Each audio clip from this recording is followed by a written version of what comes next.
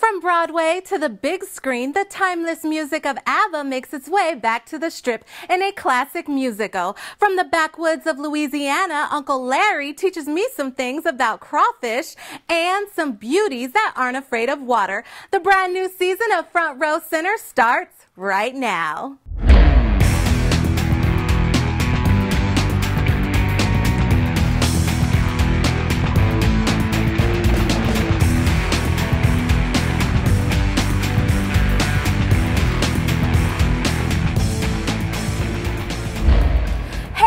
Everyone, I'm Honey Love, and welcome back to a brand new season of Front Row Center.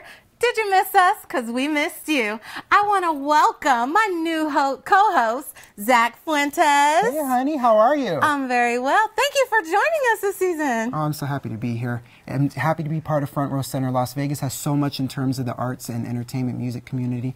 I'm happy to be here and help showcase that with you and the rest of the team here at Front Row Center. And we're happy to have you. So happy to be here in Vegas, summertime. Yeah. What's your favorite thing to do in the summer? Uh, lounging by the pool, shopping. You know, I got to get my tan on, of course. I like that. Well, you had me at the pool. Okay. You had me at the pool, and tonight we're going to be diving in with a group of synchronized swimmers called the Water Beauties. Mm. Yeah, really great group, and their name fits them. Trust me. Nakaya Berry kicks off the season with this story, and she's going to show us why.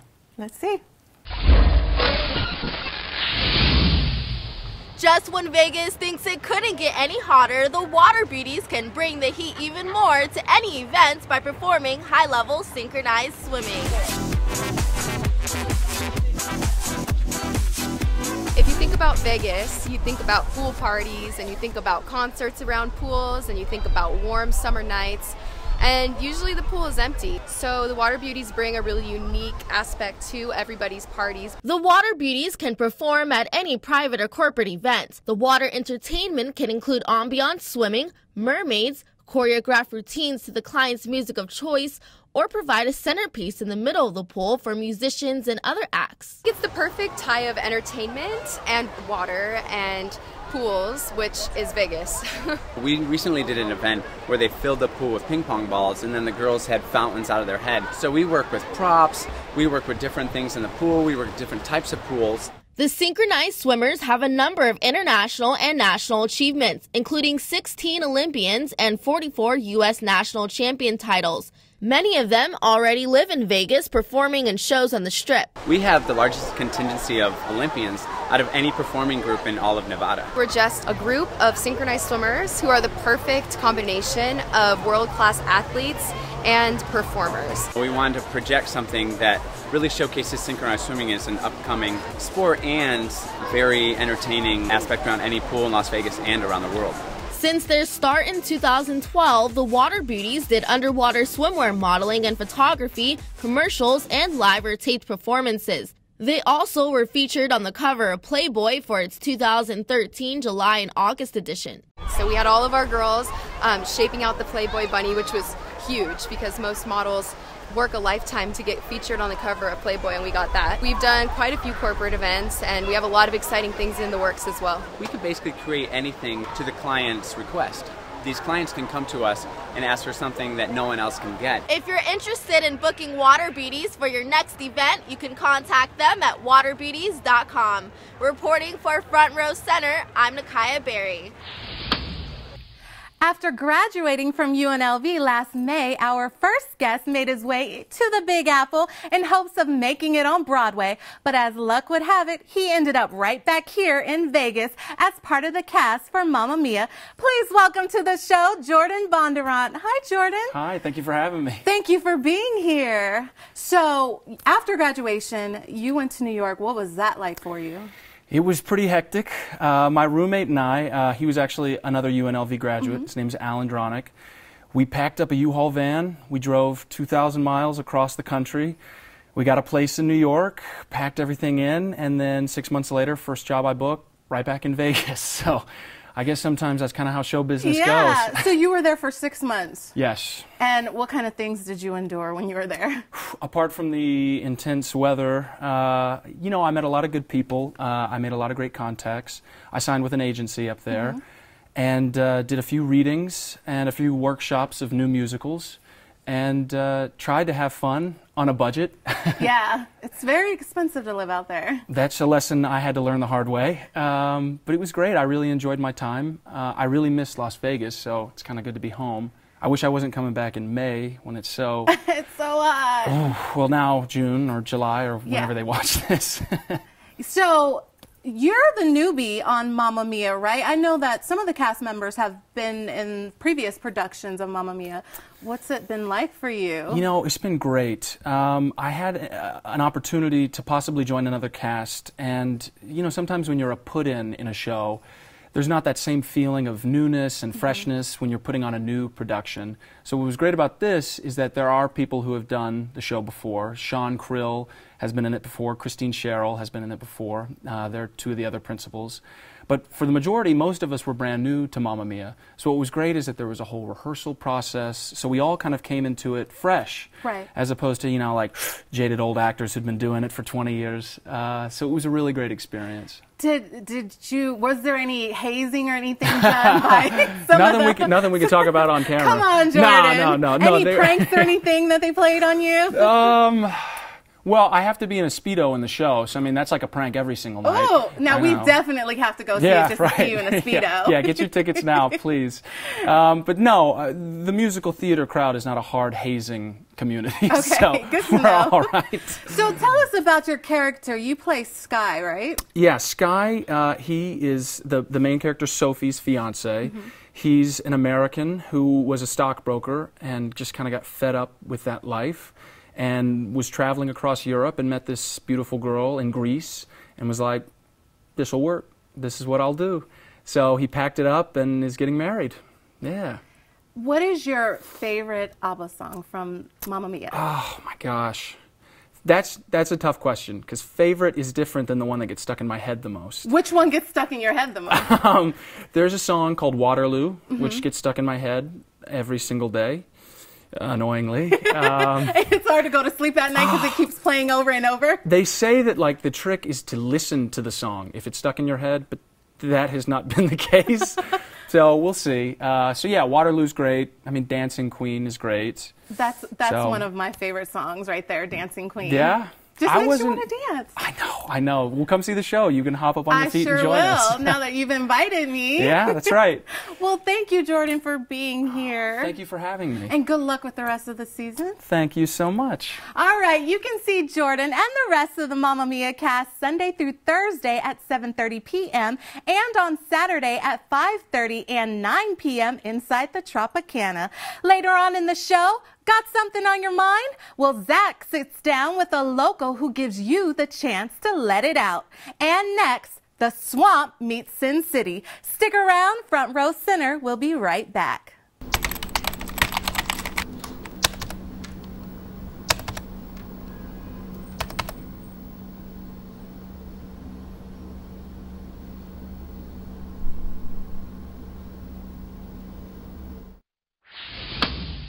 Welcome back to Front Row Center. One of the things I love to do is try new things. And we have a lot of food events here in Vegas that give us the opportunity to sample some great dishes. One of the biggest, the annual Crawfish Festival. But before you dig in and enjoy that southern delicacy, you have to learn how to eat it right. Let's check back in with Honey, who went on a mission to learn how to eat crawfish the proper way. The second annual Straight from the Bayou Crawfish Festival took place at the Las Vegas Sports Center. As the robust smell of Cajun cooking filled the air, attendees indulged in dishes like jambalaya, crawfish etouffee, and a southern tradition known as a crawfish boil.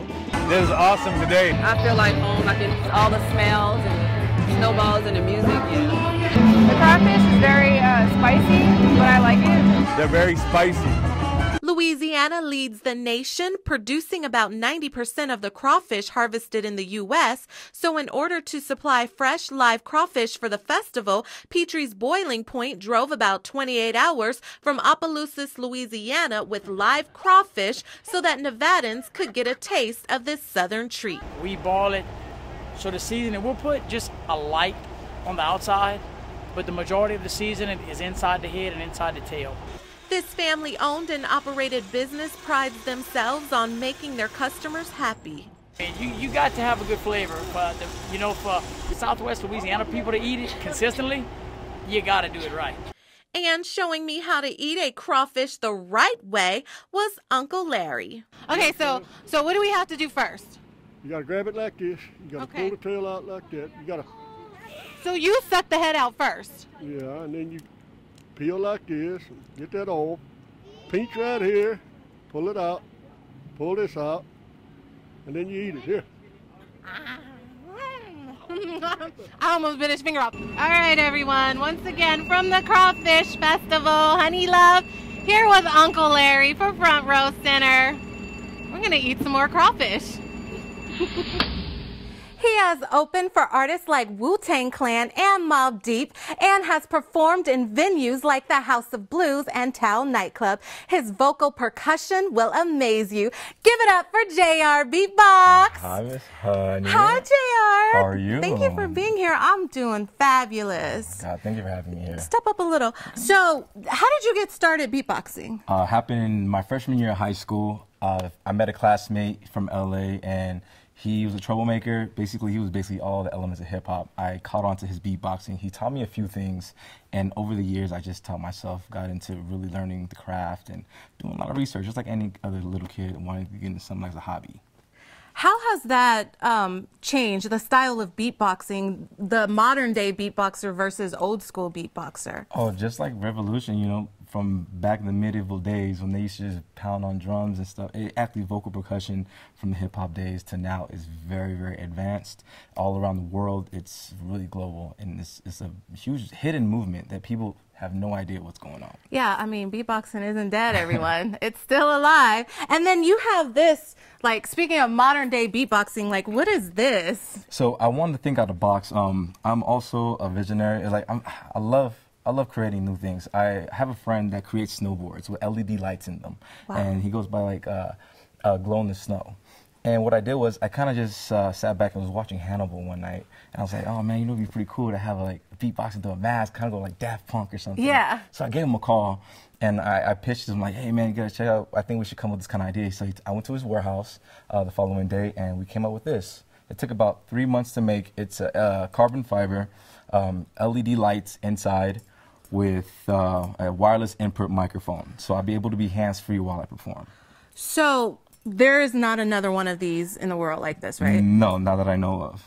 Wow. I mean, you should get that patented. No, no, it's, it's in the works. It's definitely it's, it's through process right And now. And so, what does this do for you as far as the sound and projection and everything? Uh, really, it doesn't really do it. it it's great. It's like a, somewhat of a chamber. Okay. But other than that, it's very just for looks. You know, just the fact that you can be able to wear a mask and beatbox and be hands free and just do different And things. And look scary. Nah, I, should put like a happy face in front or something.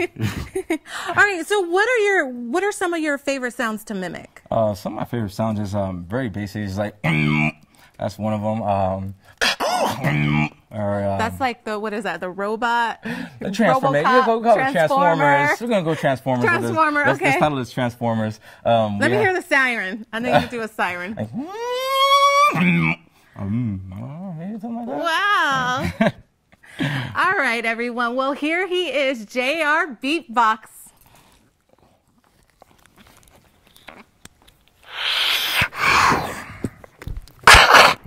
Check, check, check, check. Activation. Ladies and gentlemen, my name is JR Beatbox.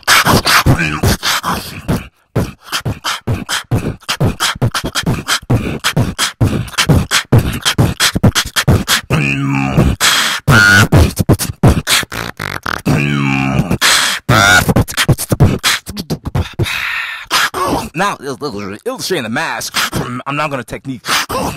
Show you what I do on the mic.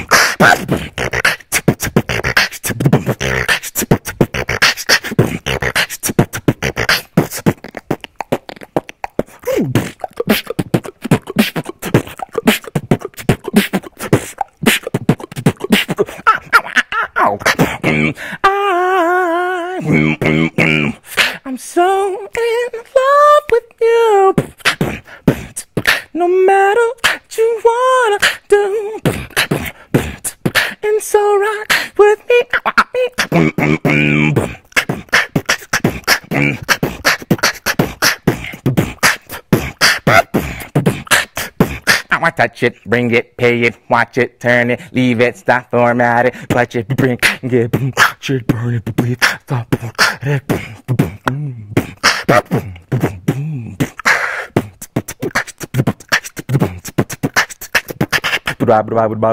Number one, one, one, one, one, one. Ladies and gentlemen, my name, my name, my name, my name is J R R R Beatbox. Sending out.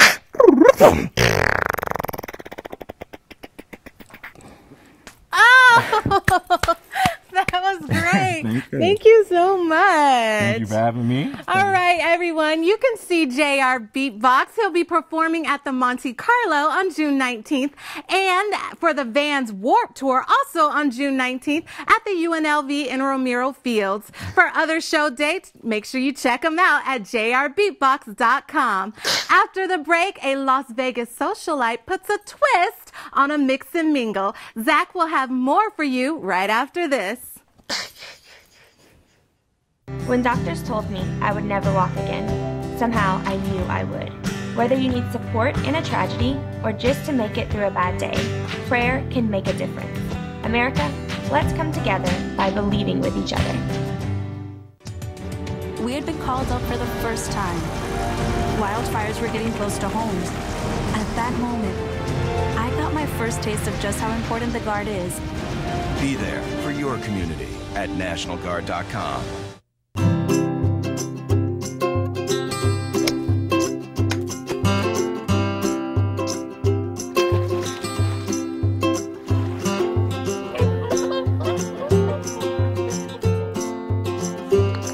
Think you found every hazard out here today?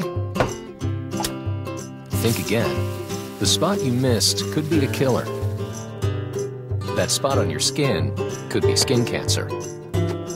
Fact is, if you're a man over 50, you're in a group most likely to develop skin cancer, including melanoma, the kind that kills one person every hour.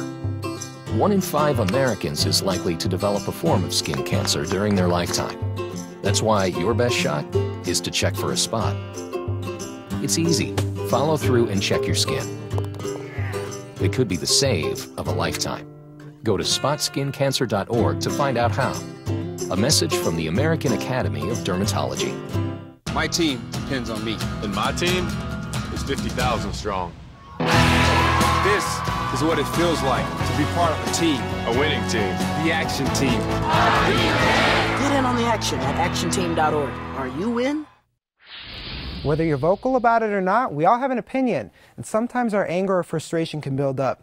But our next guest gives people around the valley a unique chance to sound off. Here with us today is Jeremy Washington, or Mr. Jeremy. Welcome. Thank you. How are you today? So this mixer, mm-hmm. tell us about it. Well, it's a public forum. So it's a public forum where grown adults can mix and mingle with those whom they know and don't know to discuss different topics, whether it be on sex, relationship, politics, church, controversial issues, etc. There are no wrong or right answers. So we can talk about anything there. You can. And what separates this from like a Jerry Springer episode or something like this where people sound off and get like a little too inappropriate? Uh, well, the key is that it's grown and sophisticated, Oh. mature adults. Okay. Many people don't like to go to clubs, bars, smoking environments. So therefore, it creates you a different opportunity to get out without actually getting out into the secular realm. So what kind of environment is this? What kind of vibe is it? It's a, um, it's kind of like a neo soul. It's chill, mellow. There are some provocative topics that can actually liven up the audience, but it's yeah. How fulfilling has this been for you? Very, very. I started off in my home just as being a cocktail mixer, but more people began to come. And then with topics of current issues that people are facing nowadays, I began to get testimonials as far as what someone else said or hearing five different opinions actually helped them. So therefore, being that I'm able to help someone is very rewarding. And you were talking about some of the things you guys discuss in this mixer here. What have been some of the most heated topics or discussions that you can think of? Um, one, um, well, current issue is um, should marijuana be legalized? Hot topic. Okay, it's a very hot topic, especially with all the issues that we have in America. So you get five different people to answer, and you know, it sits, it sits back and makes you go, hmm. Well, so do you get in on these opinions? Do you put your opinion in, or do you strictly moderate and stay back and kind of keep your opinion to yourself? I try to remain biased. However, with some of these responses, you just cannot. Yeah. For instance, what would you do if you caught your mate cheating? You know that That's- that yeah. can get very hot and juicy. Absolutely. Where do you see this going? Um, actually, I see it as a talk show. So I might be the next Oprah, or the next Dr. Phil. You were telling me that before we came in here that you were interested in this. I am. It could really be something and have different people on all the time. And how are the people there? You get different people in all the time. Do they mix well in this mixer? They do. It's people of all walks of life. You do Mhm. have to be 21 or older to attend. However, my grandmother even attends. Wow. So she's in her 60s and she still has an opinion. People still have opinions. So it's very diverse as far as even color, creed, size, all the sexuality. It's open and diverse to everyone. So it really truly is an event for everyone. Indeed. Wow. Okay, so I was told, I'm not going to say who told me or anything, but I was told that you have sweet potato pie at this event. That is so famous. Yes. as famous as a mixer itself. Yes, it's Mr. Jeremy's homemade sweet potato pies. Fresh, smooth, creamy, no lumps, no strings, but buttery crust. Oh my gosh, that's a commercial in itself right there. Indeed. What about a cooking show too? Uh, no, just pies now. I do TV cook. over. All right, so when people go to this mixer, again, what can they expect? they can expect freedom of speech.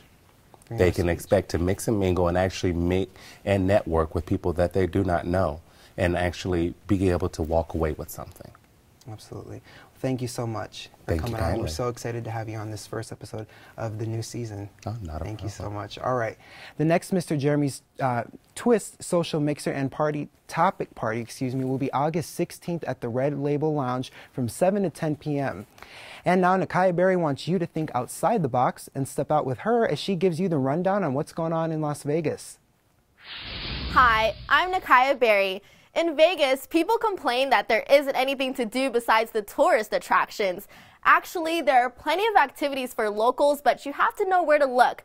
I'm going to make that easier for you, Vegas, by sharing with you the events I would go to this week in Stepping Out with Nakaya Berry.